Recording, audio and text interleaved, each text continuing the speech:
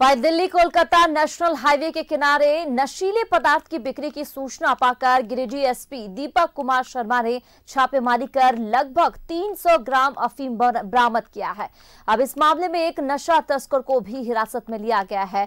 SP ने बताया कि जीटी रोड किनारे एक होटल में नशीले पदार्थ बिक्री की सूचना मिली थी, जिस पर यह कार्रवाई की गई है।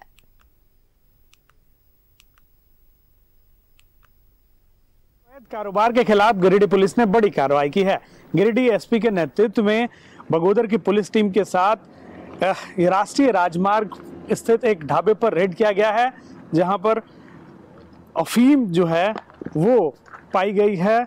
बता दें कि कोलकाता और दिल्ली को जोड़ने वाली ये सड़क है, जहाँ पर लगातार गिरिडीह एसपी को ये शिकायत मिल रही थी कि लाइन होटल जो संचालित हैं, उन लाइन होटलों में नशे का अवैध कारोबार किया जा रहा है। सर, क्या गुप्त सूचना थी और क्या बरामद किया गया है और उसकी कीमत क्या है राष्ट्रीय बाज़ार में? देखिए, एक सूचना प्राप्त हुई थी कि जीटी रोड पर जो है बहुत अवैध कारोबार चल रहे हैं। जिसमें अफीम और ब्राउन शुगर के बिक्री किए जाने की सूचना थी।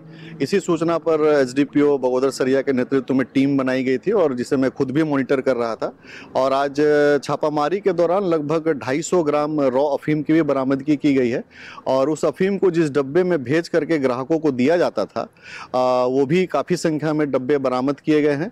और पूर्व में भी ऐसा देखा गया है कि ये जो होटल है, इसके भी पिताजी तो अफीम का कारोबार किया करते थे।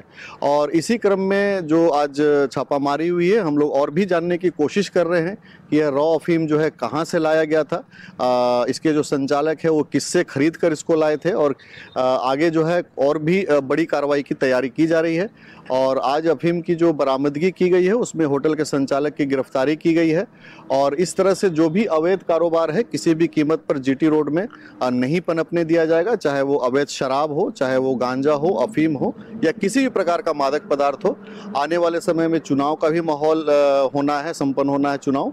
और उसी चुनाव को देखते हुए भी जीटी रोड पर भी हमारी पैनी निगाह रहेगी कि किसी प्रकार का अवैध कारोबार जीटी रोड पर न चल पाए।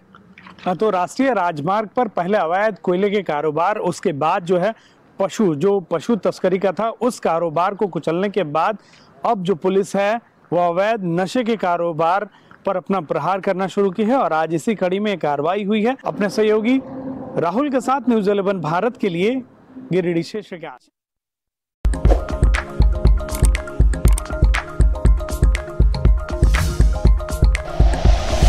like and share videos, subscribe करें हमारा चैनल और प्रेस करें बेल आइकॉन न्यूज़ 11 भारत। सच है तो दिखेगा।